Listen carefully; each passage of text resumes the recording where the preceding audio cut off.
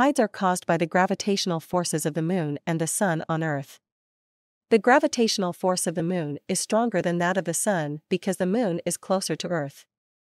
The tides are caused by the rise and fall of the ocean's surface. When the gravitational force of the moon is stronger on one side of the Earth, it causes the water on that side of the Earth to be pulled towards the moon, creating a high tide.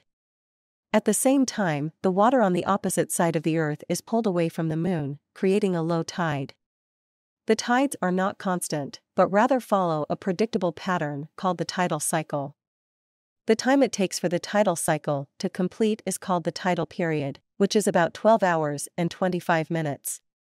The height of the tides, or the difference between the high tide and the low tide, can vary depending on a number of factors, such as the shape of the coastline, the depth of the ocean, and the positions of the moon, the sun, and the earth in relation to one another.